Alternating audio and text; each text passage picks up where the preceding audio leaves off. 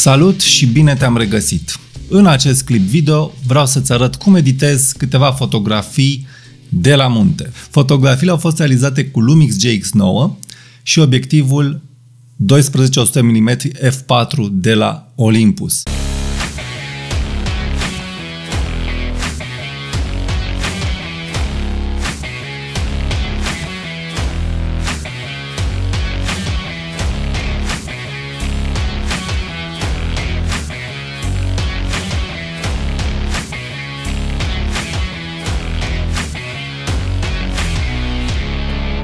Hai de la calculator să vedem ce edităm. Ok, aici am uh, preselecția de 80 de fotografii care mi-au plăcut și am selectat 9 dintre acestea și vor mai urma și alte clipuri video în care o să editez. Da? Prima tură foto a fost cu ceață și după am avut soare. Edităm această primă tură și pe urmă în clipurile viitoare îți voi arăta cum editez celelalte fotografii cu soare. Așa că abonează-te la canal pentru a fi notificat când voi publica următorul videoclip. Vei vedea că este o mare diferență între o fotografie cu soare și o fotografie fără soare, da? Dar aveam uh, lumină și este foarte interesant să vedem ce putem obține totuși dintr-o fotografie destul de ștearsă, pentru că iarna nu prea avem culori. Aici avem o căsuță pe munte cu o cruce acoperită de zăpadă, da? Iată fotografia întreagă, mai micșorez uh, coloanele stânga-dreapta din Adobe Lightroom, da? Și altă diferența între JPEG, care ai văzut că era foarte puternic și rău. Da? Haideți să începem să edităm.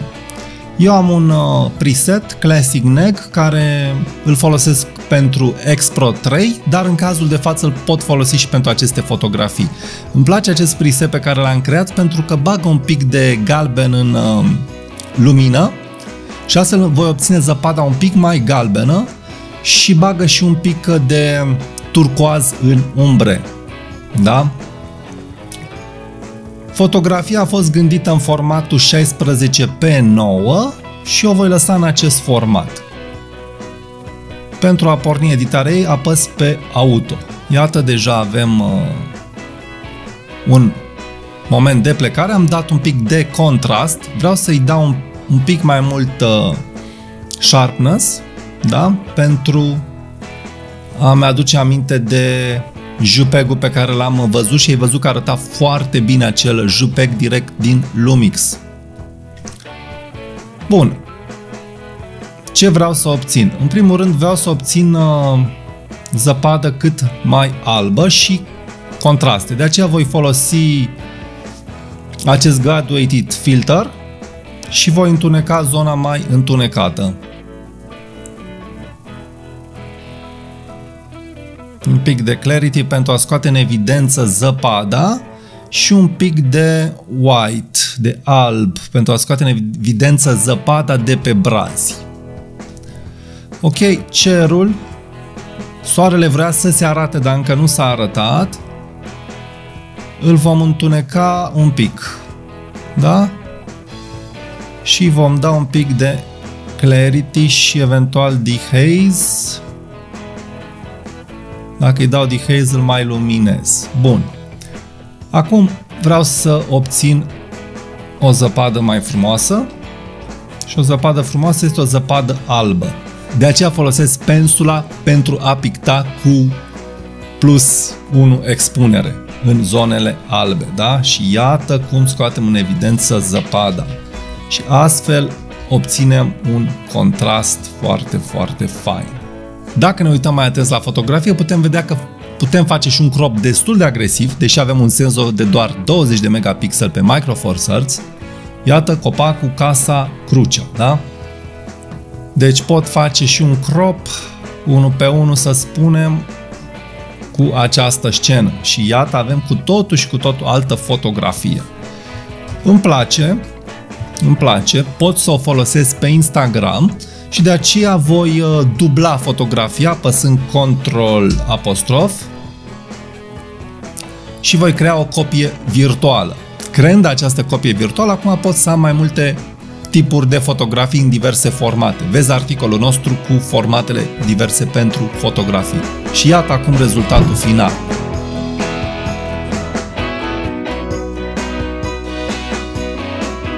Haide acum să trecem la următoarea fotografie.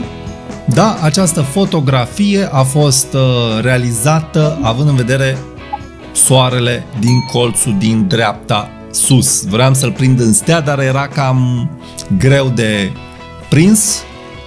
Deși am folosit, n-am folosit F16, nu, că mi-a fost milă să degradez uh, imaginea. Haideți să apăsăm pe Auto.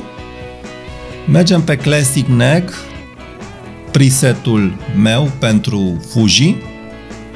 Dau un pic mai multă culoare și chiar dacă dau, vezi, saturație 27, tonul am culoare, că asta este, nu aveam soarele pe casă. Roșul acesta este greu să-l scoți în evidență, nu imposibil, nu imposibil. Haideți să scoatem roșul de pe casă în evidență un pic. Folosim un filtru radial și luminăm casa mărim feather și folosim paintbrush-ul pentru a edita această mască. Aici click pe brush.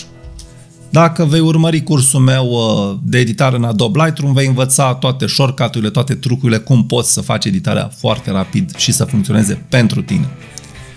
Da, pictez casa, să spun așa, și intensific roșu, recuperez highlights-ul. Avem de a face cu un senzor Micro Four Thirds, dar se descurcă binișor.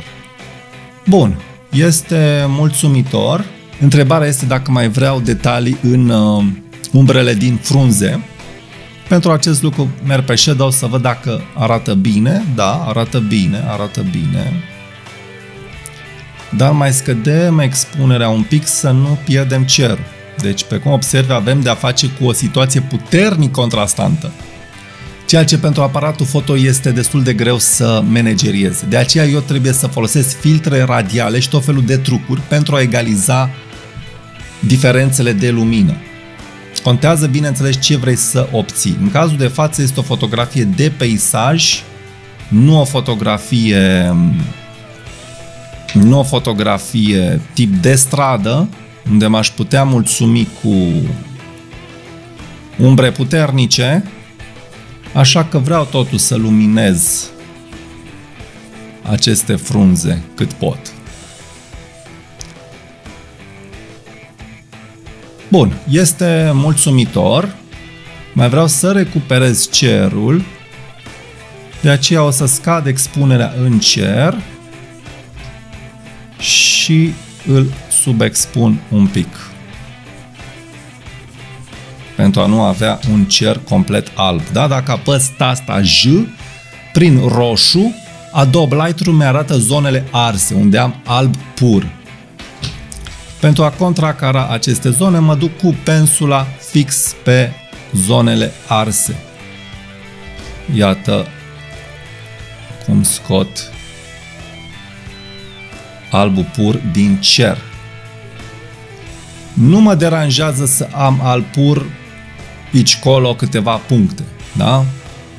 Apăs highlights, scot J, mă uit să văd dacă arată bine cerul și nu am artefacte, nu am artefacte. Mă uit la poza mică, mă ajută mult să-mi dau seama dacă am sau nu am artefacte. Arată ok, scad claritatea pentru a îmbina mai bine culorile, mai măresc expunerea un pic ca să nu exagerez, mai scad contrastul, scad contrastul, mai măresc expunerea un pic, să arate totul destul de uniform. Este, este bine, da? Deci cam atâta se poate obține din această imagine folosind Adobe Lightroom, apăs Adobe Landscape pentru a întări culorile un pic și cam asta este.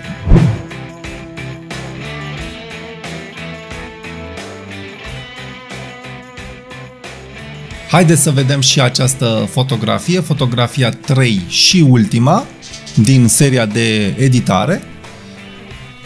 Fotografia îmi place mult direct din aparat, vorba aceea, da, iată JPEG-ul ce bine arată. Puteam să editez și direct uh, JPEG-urile. De, câteodată JPEG-ul generat de cameră poate să fie foarte bun. Mergem pe Classic NEG pentru a păstra constanța, păsăm pe contrast, da, scădem black-ul, punctul de negru, albu, umbrelele întunecăm, recuperăm din highlights, dar nu foarte mult, că zăpada este luminoasă. Ce mă deranjează la această fotografie? În format 4x3, se pare că am gândit-o în celălalt format, în 16x9. Pot să o las în acest format și o voi lăsa în acest format, dar ce mă deranjează este acest fir. Da? Dacă eram în 4x3, trebuia să scot și gardul de aici. De aceea vom scoate firul. Haideți să vedem dacă putem. Folosim Q. Când apeși Q, ai unealta de scoatere de obiecte din Adobe Lightroom. Dacă nu reușești în Adobe Lightroom cu această unealtă, trebuie să intri cu fotografia în Adobe Photoshop. Haideți să vedem. Bun. A scos. Acolo nu-mi place, dar mai apăs o dată, nu, Ctrl Z, apăs H și de aici corectez de unde să-și ia informația. Vreau să pună crăci. Crăci să pună. Așa, nu își va da nimeni seama mică. Micșorez pensula folosind paranteză pătrată dreapta sau paranteză pătrată stângă. Astfel mărești sau micșorezi dimensiunea pensului cu care lucrezi. Bun, se pare că funcționează până acum. Nu trebuie să fie perfect totul, pentru că un utilizator de Facebook sau chiar și de Instagram nu se va uita la nivel de pixel, da? Și aceasta nu este o fotografie care vreau neapărat să o pun pe zid, sau care vreau să o tipăresc format mare. Deci nu trebuie să faci la perfecție, mai ales dacă nu este o fotografie care o vei folosi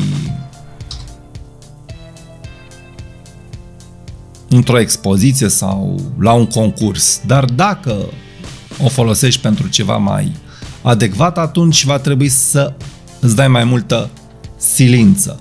Da? Aici, pe cum se observă, se încurcă un pic Adobe Lightroom. Apăs H din nou pentru a scunde pensula, punctele pensulei. Da? Merge, merge, nu este nevoie să băgăm fotografia în Adobe Photoshop. Arată destul de bine. În zona aceasta mai vreau un pic să corectez. Iată, perfect, nimeni nu va ști că aici a fost un fir. Da? Și am scos firul. Acum aș mai adăuga o vinietă, deoarece biserica este luminoasă și părțile sunt întunecate. Iată ce, ce bine arată. Mărim contrastul, aș merge și pe tone curve, pe linia de contrast, pe curba de contrast, da?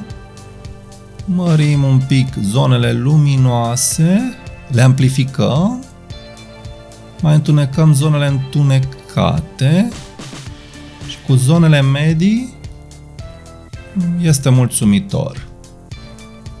Este bine. Aș vrea poate mai mult clarity? Nu, nu. Textură? Da. Apăs mai fac mai sharp un pic imaginea, mai clară și cam asta este imaginea, iată.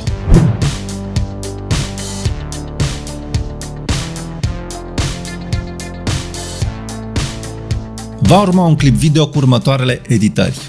Vom edita această găleată cu zăpadă și cu acest gard roșu, cred că va da superb.